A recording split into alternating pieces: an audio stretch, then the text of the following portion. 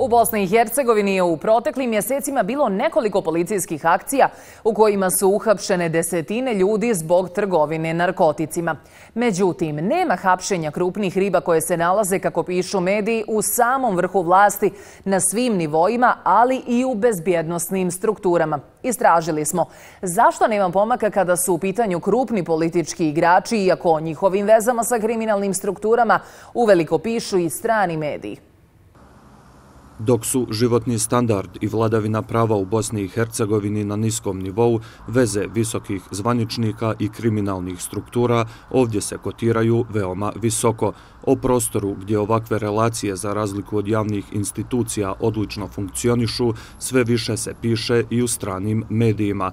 Tako je njemački list Der Tagesspiegel objavio tekst u kojem opisuje djelovanje kartela Tito Dino u Bosni i Hercegovini, te o navodnim poveznicama ministra spoljnih poslova BiH Elmedina Konakovića sa ovom kriminalnom organizacijom. U tekstu navode da je Konaković bio vidno uznemiren na preskonferenciji nakon policijske akcije Black Tie, odnosno Crna kravata, u kojoj su uhapšene desetine osumnjičenih za organizovani kriminal i pranje novca. Potom je demonstrativno podigao svoju zlatno smeđu kravatu i povikao ne možeš ovo učiniti crnom kravatom, aludirajući na policijsku akciju Crna kravata. Ministar Konaković je valjda htio poručiti da nema nikakve veze s uhapšenim kriminalcima, navodi njemački list. Osim četvorice policajaca i načelnika policije, tada je uhapšen i Gordan Memija, blizak Konakovićev prijatelj. Istraga ukazuje na veze pojedinaca sa kriminalnom organizacijom Tito Dino,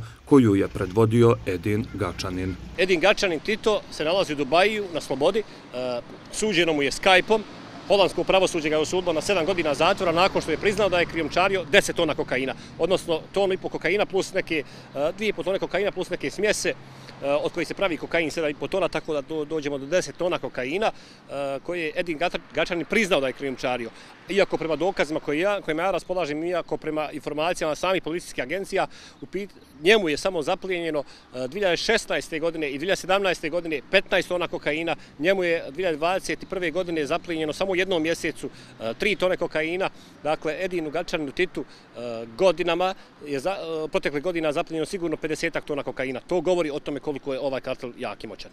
Avdić kaže da je Gačanin svojim novcem htio kupiti stranku i ući u strukture vlasti. Ministar inostranih poslova BiH je međutim više puta dementovao ove navode. Konaković negira da ima ikakvu vezu sa narkokartelom Tito Dino i krivičnim dijelima koja se pominju u istrazi. Žilac Kulenović je politizirao ovaj predmet navodeći imenom i prezimenom i mene, ali i narodi pravdu, kao potencijalno saradnika ili stranke koju je po njihovom mišljenju htio kupiti šef narkokartela.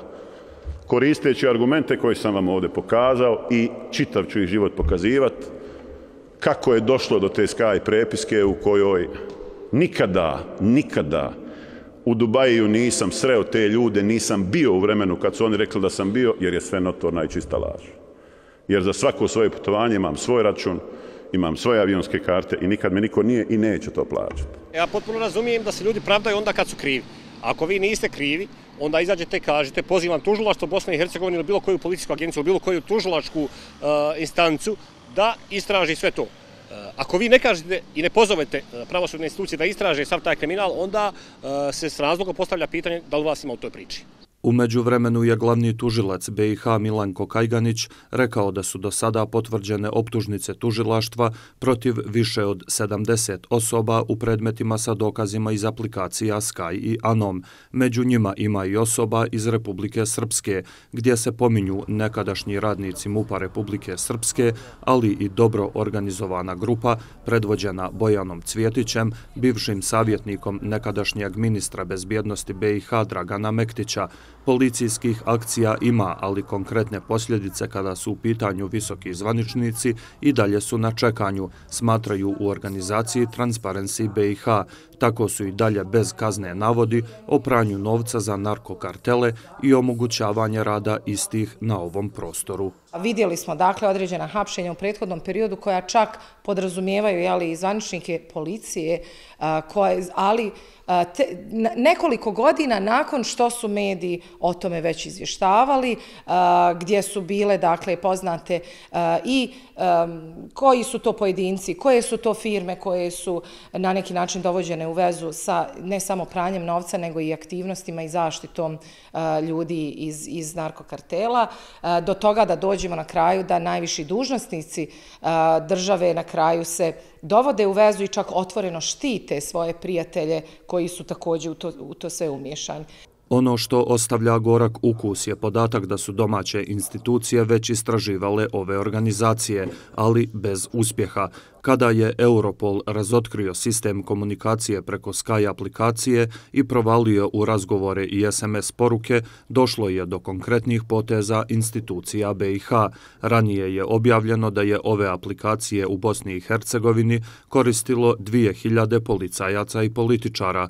Pored selektivnog pristupa, kaže Korajlićeva, posebno je porazno da se ništa od pomenutih hapšenja ne bi dogodilo da se čekalo na domaće institucije ni ove akcije policijske koje su se desile, privođenja, hapšenja i slično i procesi ne bi se dogodili da nije bilo međunarodnih istražnih agencija koje su provodile svoju vrstu istraga i onda zapravo zahtijevale od organa ovdje da poduzmu nešto po tom pitanju i s te strane vjerovatno tek kada i te istrage dođu do nekih viših instanci onda ćemo moći očekivati nekakav, nekakav epilog, ali vrlo je zanimljivo do koje razmjere ide zapravo povezanost ljudi iz vlasti sa ljudima iz organizovanog kriminala. U sred istrage pojavljuje se novi skandal kada je objavljeno da je predsjedništvo BiH prije nekoliko mjeseci imenovalo turskog biznismena Fatiha Kola za počasnog konzula u Panami, iako osoba ima status osumnjičenog u predmetu Crna kravata 2 zbog sumnji u povezanost sa narkokartelom Edina Gačanina. Tužilaštvo Bosne i Hercegovine provodi istragu e, protiv visokih policijskih zvaničnika iz Federacije Bosne i Hercegovine i protiv čovjeka koji je bio bivši sad se može reći, bivši konzul Bosne i Hercegovine u Panami. Vrlo interesantno, mjestu gdje se, u državi gdje se zapravo i preko koje se e, peru velike količine novca. E, ono što je vrlo bitno u ovom trenutku, reći da je da su još uvijek na snazi mjere zabrane prema određenim osobama iz ovog predmeta, da je produžen pritvor e, prema osobama koje su uhapšene, odnosno kojima je već ranije određen bio prvi put pritvor, Dakle, i tužilaštvo Bosne i Hercegovine siguran sam da će uspjeti da dokaže veze politike i ovog samog kartela koji ispada među e, pet najvećih narkokartela u cijelom svijetu. Predstavnici opozicije su upozorili da se o aferi Fatih Kol moraju izjasniti i Željka Cvijanović, na čiji je prijedlog turski državljanin imenovan na funkciju i ministar spoljne trgovine i ekonomskih odnosa Staša Košarac, koji je prema navodima medija lobirao za imenovanje Kola na mjesto počasnog konzula, Košarac je demantovao povezanost, a konzul je tek nakon izbijanja skandala razrešen. Međutim, godinama je aktuelno pitanje spornih radnji brojnih ministara na nivou Bosne i Hercegovine. Mi smo to pitanje htjeli da postavimo na prošloj sjednici parlamenta BiH, međutim, niko od tih ministara već e, dugo vremena ne dolazi ovaj, na, na, na te sjednice, iako su obavezni da prisustuju njima.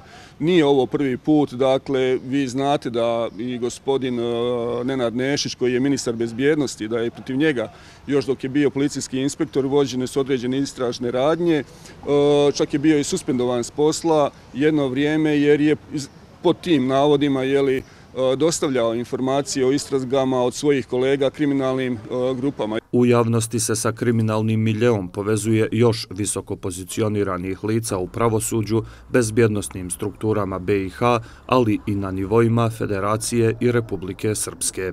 Gotovo da nema godine u Bosni i Hercegovini bez barem jednog skandala kada se visoki zvaničnici dovode u vezu sa licima iz kriminalnih organizacija političari po pravilu negiraju ikakvu povezanost sa spornim organizacijama i licima, čak i kada budu uhvaćeni kako sa njima sjede za istim stolom. Ovo otvara pitanje zbog čega je Bosna i Hercegovina prostor koji je poznat po ovakvim stvarima i u Evropi i u regionu. Stvarnost u kojoj se Bosna i Hercegovina pominje kao prostor veoma bliske povezanosti zvaničnika i kriminalnog miljeja, kažu eksperti za bezbjednost, prije svega je posljedica nerada pravosuđa, ali odgovornost za ovakvo stanje nije jedino na pravosuđu, jer ovako imamo situaciju da mediji i zvaničnici tvrde suprotno što otvara pitanje ko je u pravu. E, to je problem i agencija za primjenu prava, kako ih zovemo, ili službi bezbednosti Bosne, jer znate kako, ako je neko lice izabrano uh, da bude ministar bilo čega, ministar spoljnih poslova, tako važnog resora, ministar bezbednosti ili, ili čega god već, apsolutno on mora biti upozoren od strane e, obaveštajno-bezbednostnih službi da a, u njegovom prisustvu ili na njegovom linku se nalaze određena lica koja su e, bezbednostno interesantna ili u ovom slučaju a, narkodileri. Trifunović kaže da se često u regionu objavljuju informacije o tome kako su političari viđeni sa bezbjednostno interesantnim osobama. Međutim, to samo za sebe ne znači ništa ukoliko pravosudne institucije zaista ne dokažu da je kontakt imao za cilj dogovaranje nezakonitih aktivnosti. To što ste vi nekoga videli, to što ste negdje bili sa nekim, sedeli sa nekim za istim stolom, Pa to ne znači da vi ultimativno znate ko su lica sa druge strane. Možda znate jednog ili dvojicu ljudi, ali ne mora da znači da znate unapred ko će još doći, sesti sa vama i tako dalje i tako dalje. Ukoliko ste znali i ukoliko ste imali podatak, a taj podatak, ponavljam, morale su službe da dostave, e, to je onda druga priča, onda vi to radite na vašu odgovornost i to dobija jednu potpuno drugu konotaciju. Da veza između politike i organizovanog kriminala postoji je nesporna činjenica. Ono što je međutim problem je čutnja i nerad pravosudnog sistema koji bi trebalo da procesuirate nedozvoljene radnje. Na ovaj način e, neradom institucija pravosuđa, e, politikom koja očito staje u zaštitu onih ljudi iz svojih struktura koji su bili osumnjičeni e, za veze sa narko, narkomiljeom. Podsjetit ću na mjesto direktora Federalne uprave policije, znači ponovno je imenovan čovjek koji je bio na, i uhapšen čak i za koji postoji ozbiljna sumnja e, da je davao određenu podršku logističku i svaku drugu e, e, ljudima iz kriminalnog milija i kriminalnih organizacija. Bez obzira na brojna spektakularna hapšenja, stvarnog sankcionisanja onih koji su na visokim funkcijama, a upleteni su u brojne afere, je nedovoljno. Ovo samo dokazuje jedno ustaljeno pravilo, da dok postoji politička zaštita, malo ko će biti suočen sa kaznom za očigledne kriminalne aktivnosti.